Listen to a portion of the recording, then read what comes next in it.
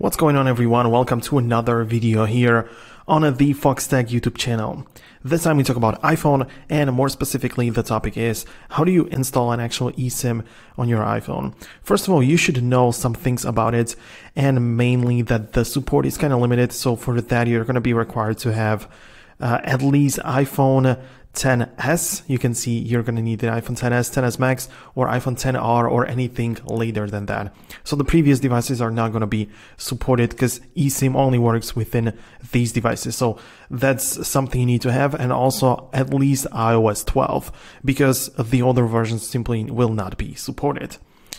Now, of course, eSIM is, of course, a SIM card, so it has to be done through a carrier. So you, you will at first have to get in touch with your carrier. This is what I did. I paid like a little bit of money. I paid like 10 bucks and I received this little card, which allows me to open it up and set it up on my iPhone, which is the next thing I'm going to show you right now. So on your iPhone, what you're going to have to do is to open up the settings and you can see you will get to this section right here. And what you need to click on is basically the cellular section. So you will get inside of the uh, cellular, you're going to be able to see it right here. And as of right now, you can see a bunch of different stuff like uh, all of the options you can turn on and off the data.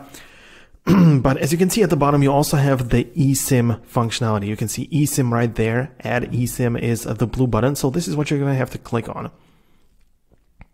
Now, once you have clicked on it, you can see that it is loading up and it will get you to this pop up. Now, it tells me to choose a phone number. I have no idea which numbers it came up with. I don't know what that is. So the transfer is not supported for those numbers. I have no idea about that. But what I did is simply clicking on the other options at the bottom. So you can see right here at the bottom of the page is the blue icon. So this is what I clicked on.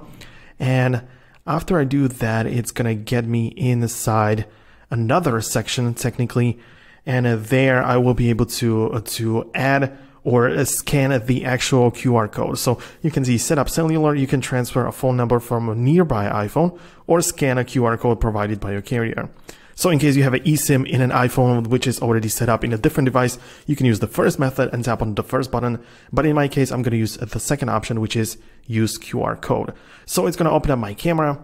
You can see I blurred it out, of course, so you cannot see it, but it recognized the QR code, which was part of my little card, which I got from my carrier. And you can see it is loading, so it had to be loaded up.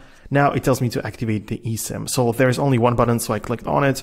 Of course, nothing else I can do about it. And uh, right now you can see that it is being activated. And this is what took the most amount of time.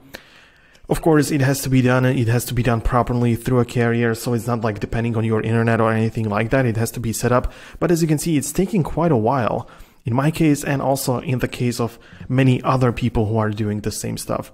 So you should pay attention to that. So yeah, you can see connecting to network and cellular setup is complete. So that's really awesome, right?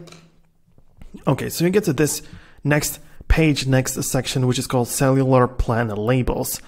And this is nothing more than just a way for you to, to see and uh, to actually have some kind of order in the numbers. So you can see we have the primary as well as the cellular data, but these are just labels. It's nothing really more behind that. Not much really is going on. So what you have to do is basically just select the first number, the second number, and choose some kind of label for it. Let's say this one is going to be business number. The second one is going to be travel number or one for just cellular data. Some basic tags already prepared for you, but you can also add your own custom label. So it's better suited for you. So that's how you need to go about it. You can choose the tag for the first as well as for the second one. So uh, really useful, of course.